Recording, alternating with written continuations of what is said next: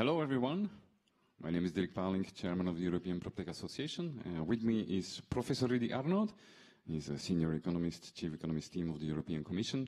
Me being in Paris, he being in uh, Brussels, we're going to try to bring you um, 40 minutes of a lot of information. First of all, let me thank uh, the team of uh, Propel by MIPIM for having us here today and opening the second day of uh, wonderful two days concentrated on PropTech. So I want to start with, by, by, telling everyone why PropTech is a priority for Europe and also for the European Commission. Well, we have macroeconomic trends that put a pressure on returns and efficiency. Data technology that will drive, that are driving new needs of end users and real estate, which is a market of 217 trillion and still largely undigitized. And then the most important thing when we talk about European Commission is, of course, the, uh, the EU Green Deal, because it will have and has already uh, an enormous impact on uh, the evolution of PropTech. Now, when we look at what's happening in Europe, and also on a global scale, we see specifically that we have two trends that are impacting real estate. We have global trends, which are more the macroeconomic trends, like climate change, aging of the, aging of the population, um, and also the rise of urban uh, population and the more complex um, projects that are being done. And the second trend is the technologies that are impacting real estate. Uh, I'm talking there about AI, the, the BIM, but also the IoT, big data, uh, robotics, blockchain. We will talking, we will be talking about that. So all of this is, is this moment has an enormous influence specifically uh, on the real estate also in, in Europe. Um, and when we look at, at the drivers of innovation in real estate, there's two major drivers. There's user experience and efficiency. And when we then look at the four technologies that will be uh, very important in, in the next uh, five years, uh, specifically for European real estate and, and PropTech. Uh, it's blockchain, uh, it, it's of course 5G, it's AI, IoT, VR, AR. Why? Like blockchain is bringing us transparency and financial stability and helps us in efficiency with transactions and valuations. We have 5G workspaces, workspaces that will be connected workspaces. Uh, AI lets us hyper-personalize the, the offers and is, of course, engaging in uh, democratization of data technology and um, intelligence. So in Europe, we need to prepare for the future. Um, and let's look at how we are doing here in Europe. Well, first of all, you need to know that 87% of, uh, of companies have said that they will increase spending on PropTech solutions within the 12 next months, which is a good sign. But only 58% of real estate corporates have a real digital strategy. They have already hired the people, but not yet uh, developed a real strategy. So why are people, why are the large corporates turning to, uh, to PropTech solutions? Well, first of all, it's because they seek improved efficiency. 65% of respondents. Uh, Others seek more the cost reduction, which is like 47%. Uh, and then the most important question, what is holding back innovation? What, what is holding us back in Europe? Well, first of all, major thing is that a lot of uh, corporates do not understand or do not see uh, the ROI. 46% has difficulties in detecting within all the PropTech solutions that we have in Europe, detecting the ROI. Others tell us that they have other strategies. Uh, 40% also very uh, important. Um, when we look at how Europe is driving innovation, I'm very pleased to present uh, something really, really unique in the world, by the way, to, to you. And that is the collaboration between European PropTech Association and the European Space Agency. You would like to think, what is the European Space Agency doing in PropTech? Well, this agency has launched a specific PropTech Kickstart program, which means that they will make available to the best PropTechs in Europe technologies that have been developed within the framework of the European Space Agency. So they are not only giving money, like they're giving grants or funding um, to the PropTech startups in Europe, to the selected ones at least, um, but they also will give them support. So how, do, how would this look like? Um, what, what could be the implementation? So the European Space Agency, uh, as far as technologies, is specifically um, things like the global uh, navigation satellite systems, but also Earth observations or communications. And the applications that we could use from the European Space Agency um, is, for example, the positioning of information of users navigating uh, uh, augmented reality applications, but also searches, searches for uh, real estate assets or monitoring of construction activity. So all of these things, the, the European Space Agency will be uh, helping PropTechs to develop this further or to integrate these technologies into their existing solutions. So I'm calling upon all the European PropTechs uh, today, which are about 2,700, um, to look at the domains where they will be doing this call, uh, the European Space Agency then. It's sharing economy, investment managers and, and, and marketing, but also in insurance, urban planning, and uh, Contech construction uh, technology.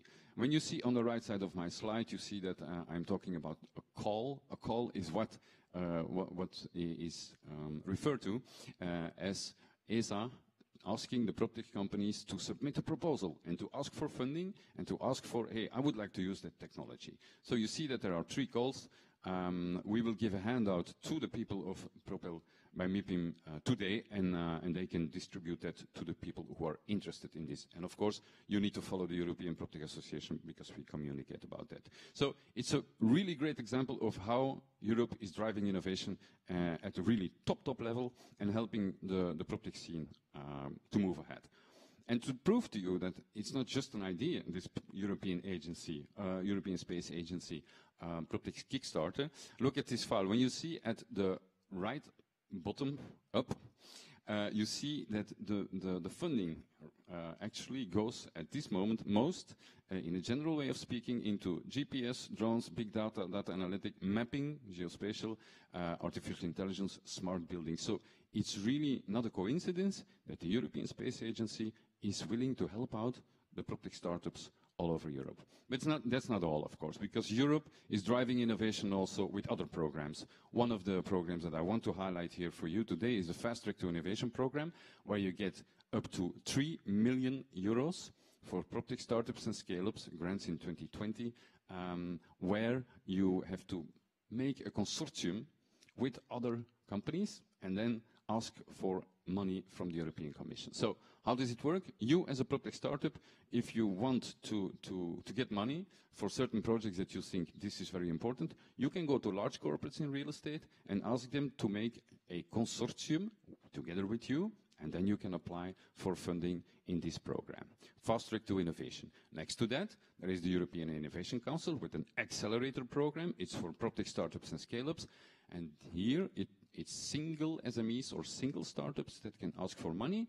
It's between 0.5 and 2.5 million euros in a contribution, so it's in a grant, or, and because it can be combined, up to 15 million euro per scale-up in equity. We will talk about that later. Uh, specifically, Professor Aernoudt will talk about that. So, what's driving the innovation? Also from the European Commission out is, of course, the, the, the Green Deal. Because the Green Deal has an impact on real estate. Real estate is responsible for about 40% of the, of, of the emissions and 44% of energy consumption. It will force companies in real estate to adopt PropTech solutions because they will need to lower emissions and need to lower the energy consumptions. One highlight that I'm taking out of this is the renovation of the stock. I think most of people don't know that, but in Europe, we are renovating the stock of the buildings at a rate of about 0.4% to 1%. It's not enough, of course, and the Green Deal will make sure that we more than double the renovation of the existing buildings. And if you renovate an existing building, then there's money from the European Commission within the framework of the, the EU Green Deal to help you implement the PropTech solutions that, makes that make your building green, let's say. So at the same time, all of this in the Green Deal is accelerating the need for public solutions. And that is why the European Commission is paying a lot of uh, attention um, to the evolution of PropTech right now throughout uh, Europe. Then, um, oh, I'm going too fast. Uh, then we have a very important new program. It's called EU Next Generation. Uh, it's a 1.85 trillion uh, budget to boost the economy in the Eurozone. One of uh, the programs that Professor Aernoudt will talk about here uh, in a minute is Escalar. Escalar is really a financial mechanism that will double the investment, at least double or quadruple the investment in PropTech startups uh, in Europe. Why? Uh, because it will activate money from the, uh, from the pension funds uh, that will be invested in funds um, dealing with uh, investing themselves in PropTech um, solutions. So later we will get back to that. So with the European PropTech Association, we are driving all these initiatives, and, and what we want to do is together with the 24 national networks, you see them here, and representing 2,700 startups and scale-ups, and with the support of about 120 large corporates in, uh, in Europe, we are here to help that European ecosystem. You can see there some of the examples and also the numbers. So we have a, a very rich um, ecosystem here in Europe. We, we, can be very proud of it. Uh, we got people from all over uh, the world, all over the globe, who are mm, very much interested uh, in our European PropTech um, startups and scale-ups, and also interested in investing in them. Now, what do we do with uh, the European PropTech Association? Well, we work together um, to standardize the fragmented uh, EU PropTech market. We are creating a legal framework within Europe, because we have a fragmented market, uh, adapted to PropTech, and uh, we are facilitating access to EU funding and, and subsidies. We have an in-house team of 15 people that helps PropTech startups and scale-ups to get access to the programs that I was talking about. Right now, from all the associations, we have more than 50 files, 50 proposals that we are now handling um, for European PropTechs. And in the end, it's also about scale-up, scaling up the cross-border collaboration. It's very important. Uh, today, at the end of the day, we have here the finals of the PropTech Startup Europe, um, and Scale Up Europe Awards, which is which we organize and are being promoted and supported by the European Commission and the European Parliament with a lot of uh, juries. Um, so in the end, what you see here is a stellar configuration around the European PropTech Associations, where the most important thing um, are, for example, the, the future collaboration with the several departments within the European uh, Commission. It can be DG Grow, DG ECFIN, DG Research uh, and Innovation, DG Climate. And this will enable us to better articulate towards the European Commission what can be done to help the PropTechs uh, here in Europe. Uh, what can we do to, uh, to get uh, support from the European Commission to better execute the Green Deal um, for them. So these are some examples of our jury members, which are the largest corporates in, uh, in Europe in real estate. And then getting to uh, what is like the, the, the, funding for European PropTech. You need to know that we have about 185 billion to be deployed in PropTech before 2025. Uh, in Europe, 2018, 1.53 billion was invested in PropTech, and in 2019, 3.05 billion. So it has doubled in, uh, in one year uh, time. So at the same time, the number of deals is going down. So we see that the funding goes up, but the number of deals is going down, which is a sign of a start of a maturing market. So at the same time, PropTech in, in, a general way, and especially in Europe, is still early. and it is now where fintech was about seven to eight years ago. Why? Because the majority of the PropTech startups has less than 500k funding. The majority has less than 10, 10 FTEs, and the majority is in a validation stage. So this is really the moment where also the European Commission and the institutions look at a sector that is about to boom. And it was already booming, of course. I'm getting back to that later. And then we have uh, a look at the, at the general trends per segment in Europe. Because we have several categories, and in these categories, um, we have finance and invest, design and build, market and transact, manage and operate, and live and work. And when you look at this slide, you see that market and transact and manage and operate are really the domains where a lot of PropTech startups and scale-ups are active. And they are less active at the bottom, live and work, or finance and invest. So there's a lot of room there for others to also go into the spaces which are less crowded. Finance and invest, for example, uh, design and build, and live and work. When you see on a global level, you see that the most has been invested in commercial real estate in PropTech firms, in firms that are linked to smart building systems, online lending marketplaces, and online investment uh, marketplaces. It's like that global, and it's also like that um, in Europe. So what's happening now in Europe for us? Uh, the PropTechs, well, Q1 and Q2 started strong, but the slowdown has come. Why? Why? Because the EU startups and scale-ups are, and the investors also, they are tied to the internal EU market performance.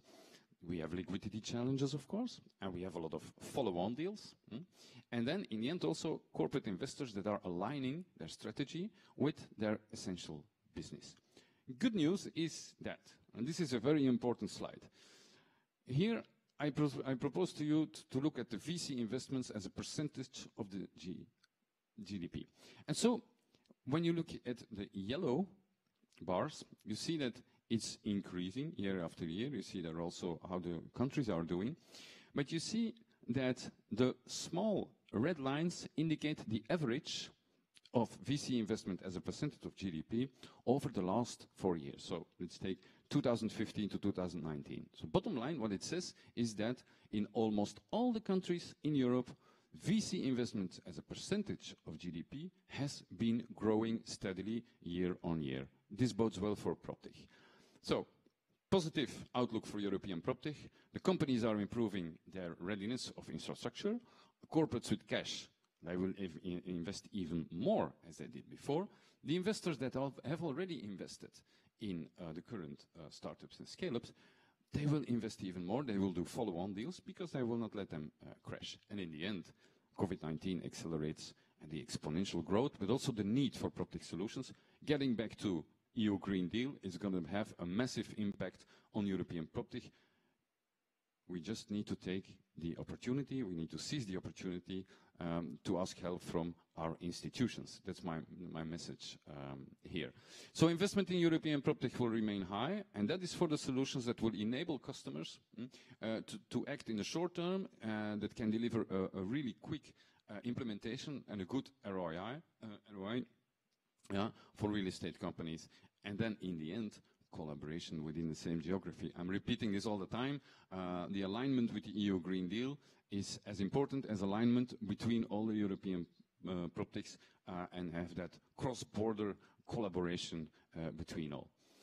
In the end, before I leave the word now to uh, Professor Aernoudt, um, we have the, the, we had the Relevation Fundraising Summit, where supported by, by the European PropTech Associations, where we detected that only 23% of investors uh, had 100% dedicated focus on PropTech. And this is really important and positive for European PropTech startups and scale-ups from 2020 onwards. Why? Because generalist VCs will invest more in specific PropTech funds rather than creating their own teams and gaining in-house experience. And now, when you look at the deals by stage, we see that in this maturing PropTech industry, 50% of the funding in Europe is at a later stage. And that's a really pain, a real pain point in Europe because we have a real scale-up gap. And there's someone here with us who knows this very well, and that is Professor Rudy Aernoudt from the European Commission, who will explain more to you about that. So he's going to share his presentation now. Welcome, Professor Aernoudt. Thank you, Dirk.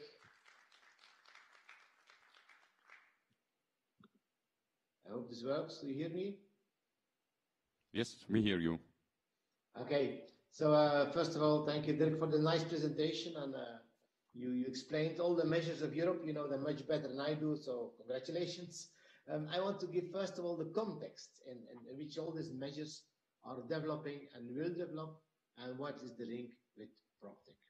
First of all, noblesse oblige, you are in Paris. Unfortunately, I'm not in Paris because for the Belgians it's a red area, so we are not allowed to go there.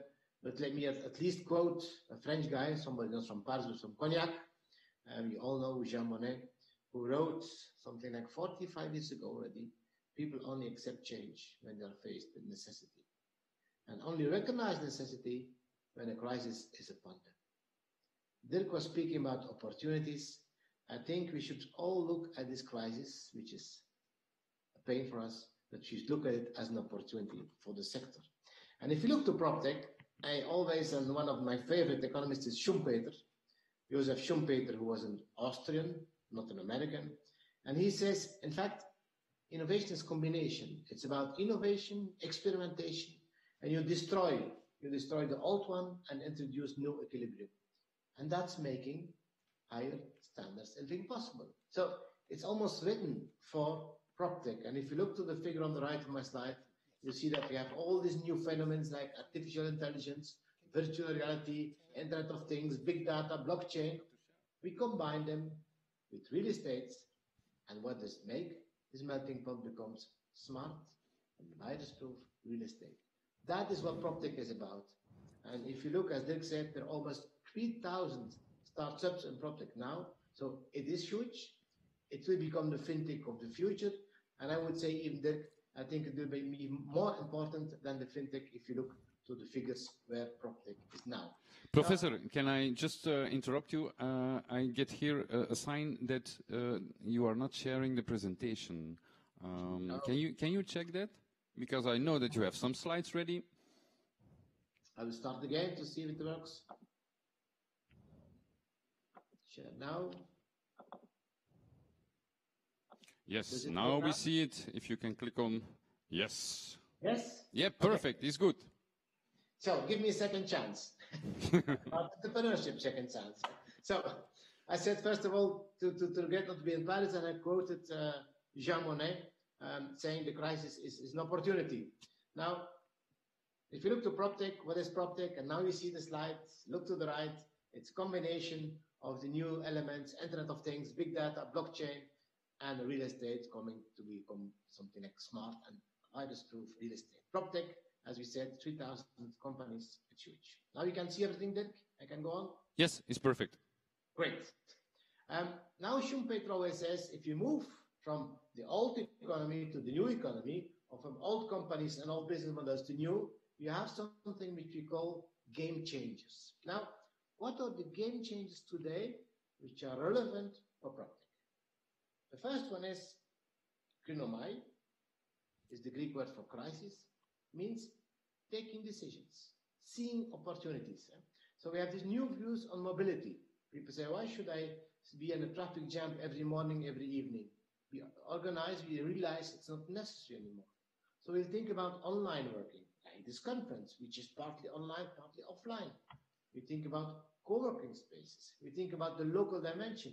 We perhaps you might think that it's not possible to touch a door when you open it for the virus. So this is all things that makes that this crisis leads to opportunities.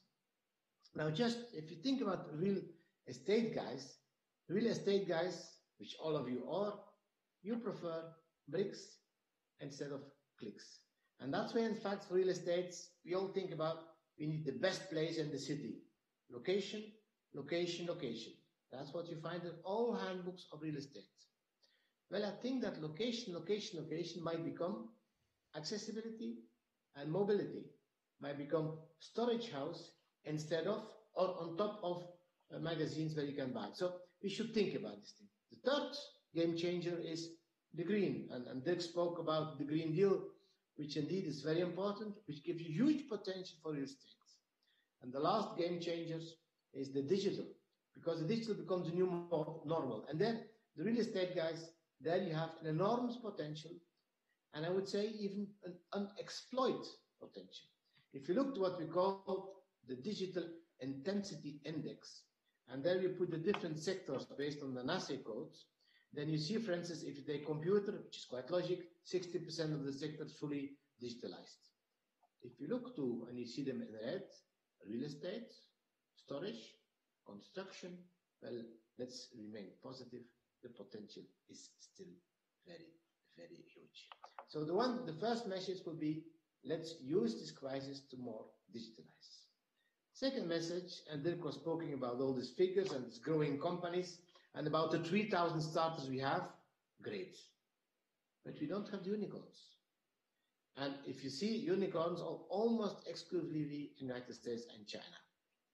Of course, this is a slide from six months ago. You see the biggest unicorn in the States was WeWork, valued at 35 billion. You all know that this valuation is now something like 8 to 10. So things changes fast, but let's be part of the movement. Let's say we want our startups to grow. If you look in America, out of 100 startups, 22 become a scale up, means a big company growing fast. In Europe, it's only 11. So I would like that next year on uh, PropTech, maybe in Paris, I can show these slides with the big circle when I put European Union. Thanks to all of you. And what is the main problem we can say is the fragmented market. No, it's not. Studies show that the problem for scale up is about money. And we all have been working a lot in Europe, in France, at regional level to find money for starters. And we need money for starters, what we call seed money, capital d'amorçage. And there you see that the, the gap with the United States, it's between brackets only 10, 10 times. But if you look to the later states, then you see, let's say, the BC rounds, then you see that there is a difference of 34 times. So there's 34 times more money available in United States for later scale money than it is in Europe. And so if you summarize our problems, we have, in fact, we have on financing three main issues. It's easy to find friends and family money. It's easy to find your first business angels. For instance, Business Angel France is doing a quite good job. But then we have the first equity gap, looking for 1 million, 2 million. Let's say too small to go to the formal venture capital fund and too big to go for a business angel. Second problem is the scale-up gap, where Dirk alluded to. Scale-up gap, in my vision, it's about looking to 15, 20 million, a company making revenues, mostly not profits yet, and not wanting to expand. And the third problem is going on the stock exchange. So let's summarize. You have the IPO problem, initial public offering, you have the scale-up gap problem, and you have the first equity gap problem. These three elements are kind of value of debts. Huh? You can make a nice business plan. If you don't find the money to go on, then you are in real, real problem. And what is one of the big problems for the scale-up gap? If you're looking for 15 to 20 million, well, unfortunately, I would say, you can find it, for instance, in the United States. But we have done some studies with the University of Ghent saying that the company goes where the money is and not opposite. So we should make that we have these big, big funds in Europe that can, without any problem, put a ticket of 10 to 50 million into one company. If not, we risk that a lot of those scale-ups are leaving Europe. So if we invest in IPR, we invest in the seed phase, and then we get the big, they are moving. Yeah? Let's, let's give a, the example of Skype, which you all know. Skype was looking for 150 million, was an Estonian company. Skype did not find it in Europe. Like uh, the French company Criteo, same thing. They find the money in United States. And if you find the money in the United States, well, the problem is that later it's there where you move to do your thing. Conclusion, before we move to, to the next step. A lot of uh, companies in Europe at the scale-up phase leave Europe, 44%. Second, we should find a creative solution because there's already a lot of public venture capital in the market. Look, for instance, in France, BPI is doing a very, very good job. I think they must be one of the biggest now in Europe.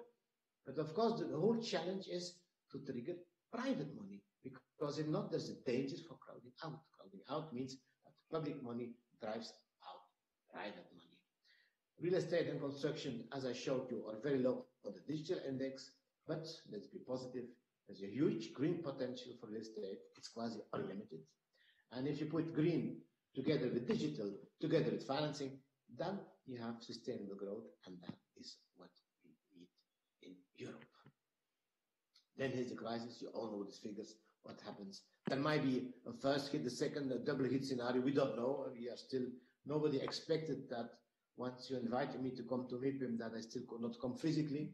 You see, for instance, we are now, the provision for France, for instance, minus 8%. But if there is a double hit scenario, it's minus 10. So it is huge. But at the same time, we might imagine that from 2021, 2022 onwards, there are new opportunities. And in order to push this recovery, and I remind you that tomorrow, uh, the President of the Commission, Ursula von der Leyen, is going to give a State of the Union. So what is go Europe going to do? Well, there has already been 550 billion, which has been invested in guarantee fund, for instance, for workers, and in, in, in the crisis support. Is the, the next generation? It's 750 billion. It's a temporary one and there's the next multi-annual financial framework, which is now a big amount. So altogether, we speak about 12% of the GDP. To give you an idea, the Marshall Plan, do you know how much the Marshall Plan was in the time? It was 1.5% of GDP. So we're speaking about huge money, and if you look, the, the, basic thing will be green and digital. And if you look to green and digital, I gave you some examples of projects And I would invite each of you to say, hey, this is where I'm active myself, because most of these projects, they are one way or another linked to PropTech. And so Dirk is right. There's a huge potential for PropTech in the future. Now, we try to make your life easy. We know that in, in the commission, we don't always succeed. But one of the things that we did, and you may see all these acronyms there, all these programs are going to end by the end of 2020. So in three months' time. And all these programs which exist today will be collected into one big pot, which is called Invest EU. So from 2021 onwards, all financing instruments, you have to look to Invest EU, and then you'll have them. And Invest EU will have different elements. Of course, we have European Investment Bank, Investment Fund, we have the, for instance, the BPI France. We work with a lot of financial intermediates, venture capital funds, um, for instance, banks, and we'll have four windows. The four windows you see on the right, I will show you another way. The four windows is sustainable infrastructure. It's research, innovation, and digitalization. Should be digitalization. It's SMEs, it's social investments and skills. These are the four. And if you look again in PropTech, most of your projects do fit in one of the four or even in four of them. There was a proposal from the Commission, which was on the table from the Council to do some strategic European investment, but at this stage, this is not going to be approved by the Council. So in fact, this means that the four first elements might have some more budget than foreseen, but that the fifth one, the one which is in red, will not be confirmed. But again, you see, this is now, if you have a project, the question you should do, is my project, and I'm speaking about 2021, is my project linked to infrastructure, or is it linked to research, or is it SME linked? What, what is it? And that's in fact, the, uh, you should find the financing possibilities. I told you that scale up is a big issue. Now, if you look to COVID, um, studies show that it's ex exactly again in the Series B plus, looking for, let's say, 15 to 100 million, that the cash burn will be harder to manage. So the shortage, which I showed you, which exists already at the pre-crisis, now getting worse. So again, the second equity gap will get wider, and that means that we need more investments and to push more on that. One of the big elements within within those uh, will be the new program Escalar. Escalar exists already today, but in a pilot phase. So we have done a pilot phase in 2020, and we, collected something like 80, 80 projects, meaning funds that wants to come into Escalar. What does Escalar mean? It's brand new, it's very innovative, and for the VCs in the room or online, um, try to concentrate two minutes. The idea is I have a fund, let's say a fund of 50 million. This fund is composed of private and public money. Well, on top of that, I can double my investment capacity by having quasi-equity. So this means the money that you get through Escalar will be capped in return, so it's lower return. But in case that the fund, which almost never happens, goes bankrupt, then you should pay back first those quasi-equity investors. So the idea would be, in fact, if I have a fund of 50 million, I double, it's a fund of 100 million. If I do a return of, let's say, 12, 14%, which is the average, well, half of the fund will only cost 4%, which means that the equity players will have a higher return on their funds. I know it's complicated, but it's to work. And that's why we want to attract private investors, risk averse, where we guarantee the money, and this money will then flow into venture capital funds. And this is the idea to make funds bigger. So this is really focused on scale up and on big funds. To make it easy, you have asset side, your investees, which are in that case only scaled up companies. So it's not about seeds, it's not about capital d'amorçage because we have ROTs already in seeds, and Dirk spoke about some instruments. We have a lot of instruments there which are going to go on after 2021. And so we have equity, which might include European Investment Fund, which might include BPI France. And on top of that, you can have as a fund quasi-equity, which give you not only a leverage in volume, the volume will double or might double, but the return of the equity players, the two on my slide, will have a leverage on the return, which means that if you set up a fund and you first got an Escalar stamp, it might be much easier to attract equity players because you can give them perspective of a very good return. So this could be an example of how you, you compose your fund. And so the whole idea behind is to cope with the scale up gap and to have big funds that are able to put, let's say, 10, 15, 20 million into one company that is growing fast. For those who are a bit technical and knows how the, the, the VCO works, there you see, in fact, the fund return without Escalar is the yellow one. And if you do the, you will see if you have a nice return, that Escalar will be capped and up to 5%, which makes that the return for the LPs will be much higher. I want to finish with some final uh, reflections on, on the on the prop tech and the prop tech world. First of all, the world is moving. So I really think that location is no longer the issue. Of course, it's still an issue, but now it's, it's time, it's accessibility, and it's speed. Eh? So I think that the old storage houses you find uh, uh, at the cities, uh, uh there might be a good potential to invest, a good potential for the future property. The Green Deal is, of course, a unique opportunity. Um, it should be approved very soon. It should be operational from 2021 onwards. That's in a couple of months, so don't miss that opportunity. Digitalization, you've seen the potential is still high. For a PropTech, it has no boundaries, so we should be the first in Europe. We should try to set the references. Uh, for the scale-up, it's high on the political agenda. It was on the first State of Union of Ursula von der Leyen saying we want to finance scale-up. We did something with Escalar. Escalar could be a very big program from next year onwards. So if you have ideas, please submit your projects. And real estate, of course, at the end of the two priorities we have today in Europe, it's green and digital. And Corona, I think, does not change, uh, does not alter, but it accelerates these tendencies. So I would say, don't miss the momentum of a crisis because this is really a unique opportunity. Thank you very much for your attention. I'm sorry not to be with you. I hope next time I might be with you again. Thank you. Thank you very much, Professor Aernoudt. Uh, maybe you, there was something really interesting I was asked yesterday. I'm going to ask the question to you. Um, for a lot of people, it, it seems that Green Deal uh, equals uh, something which is not bringing profits. So, uh, and, and this is uh, something that I know you, you spoke about uh, at another occasion earlier. Maybe it could be good for you to elaborate that for, for the public. Yes, because it's a very good question then, because we, we always think, and in some cases, especially saying, on the one hand, you have green, ecology, and the other hand, you have economy. I think this is, we should, we should get rid of this uh, dual way of thinking. Economy might become green. And green economy is something that have a high return on investments. If you take a country like Denmark, for instance, they, they focus on green economy. It's an economy that's making a return.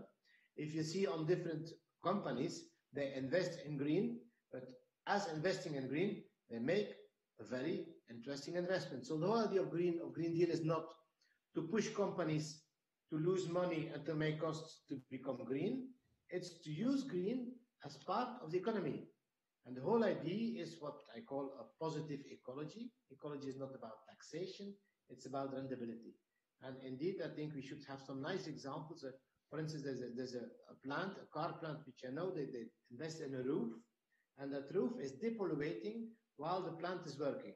Well, it's an investment which has been Uh, amortized in three years' time and which is a very rentable investment. So I think we all have to be very creative and stop thinking on the one hand there's economy, on the other hand there's ecology. No, there is something as positive ecology, meaning ecology or green economy that is positive for every every company. And I think uh, at, at the end the question will not be shall we become green? The question is when and how. And so again, today I would invite everybody to, to think about how to invest in a positive way in ecology at the same time having a positive return. Okay, thank you. And then uh, second question that was uh, that I was asked yesterday also, uh, it's the European Space Agency and what, what we do now uh, in, in PropTech uh, with them. One of your two domains is, you your two domains is finance and space, right? Yeah. Within uh, the departments that, that you have under your control. Um, so what is, what is your view on this brand new thing between European Space Agency and European PropTech? Well, the future, I will, say it in, in a kind of what you call a boutade in French. The future of space is non-space. What do you mean by that? In space, we invested quite a lot. Huh? Sometimes Europeans are very modest. Huh? We have the biggest and more pre most precise observation capacity in the world with Copernicus. We have it. Huh? Galileo is much more efficient than GPS. So we, we invested in space. We invested huge amount in space uh, with ESA, but as well with, with the, the, National Space Agency, like we have the big one in France. We invested together. Now this infrastructure is there. So now we want to do, we have to, between brackets, rentabilize this infrastructure. Eh?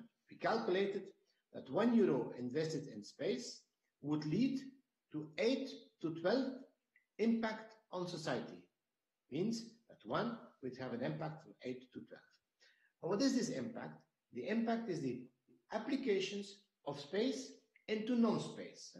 For instance, precision agriculture. We can do precision agriculture thanks to the satellites. Well, PropTech is exactly the same. What we have to do now, we have to explore all sectors and see what applications we might have from space. So again, I think in PropTech, it might be very interesting to see how different applications will go. And that's in fact what ESA has to do now. They have to finance and to look for projects where the space infrastructure is utilized in different non-space sectors. Because again, the future of space is non-space.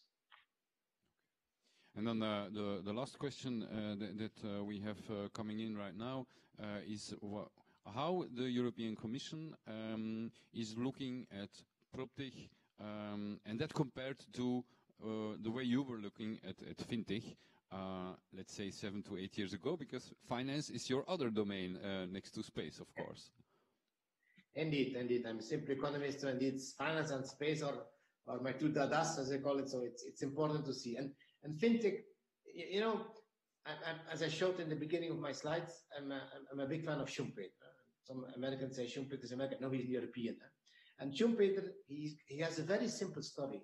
He says innovation is combination. Fintech, it's finance technology. PropTech, it's property technology. And, and the future is, in fact, if you look to different products which are now in the market, they're all linked to combination of two elements, two services, two products. So if I say PropTech, PropTech came a bit late. Why? Huh? Because, you know, real estate guys, as I said in, in boutade again, real estate guys, it's bricks, no clicks. It's something tangible. Well, the future of building is to make our building smart. And we all live in buildings, we all work in buildings. So buildings, it's, it's crucial. It's just like the banks for fintech. So we can have the same wave. And if you see what's happening now, and, and let's say with the European PropTech Association, you did a great job. Can you imagine? Can you imagine that we have almost 3,000 startups in Europe on PropTech? Okay, let's say that 20% of them don't make it. Let's say that 40% try to survive. This means that we have still 40% of those companies that really can grow, that can create a point, that can set references in their field. And that's what they should be. So that's why I really believe that the potential of PropTech is very, very high. And indeed, PropTech will not only be the fintech of seven years ago, but it might be a sector that's even more important in terms of employment, in terms of setting the standards, in terms of the future for Europe. It's really strategic. And that's why I really applaud the creation of, of this association because we have now to work together. It's not only about financing. It's not only about subsidies. It's not only about risk capital. We should now think together. What are the obstacles in the market? Eh? Is the PropTech market a fragmented market or not? What can we do about it? What should be done on member state level? What should be done on European level? So at the beginning of this evolution, and I invite uh, Dirk, you and all your members and everybody there to just give us the ideas to see how we can use and optimize the potential of the sector. All right, that's perfect. Uh, we got 30 seconds to go. So, Professor Rudy Aernoudt, I want to thank you again for uh, speaking uh, with us, for being also here with the team of uh, Propel by MIPIM. And I'm quite sure that we're going to be here next year. And uh, I hope that you will be able to present some new figures uh, which show a, an increasing line in all the investments that have, have been done in, in PropTech. So Thank you very much. Really, all of you. And I want to end with uh, thanking you, everyone here, uh, to being present, and all the viewers uh, on on the live stream, and of course the whole team of um, Propel by MIPIM. Thank you very much.